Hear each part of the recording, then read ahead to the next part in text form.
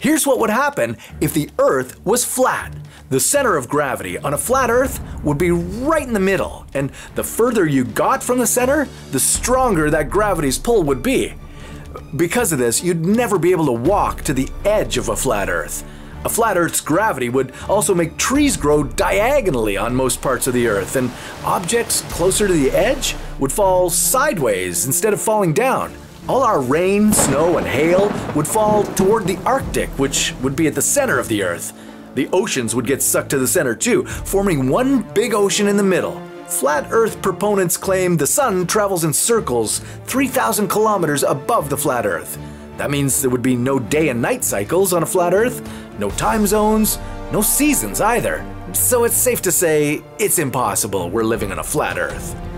But some people around the globe are still convinced of this, so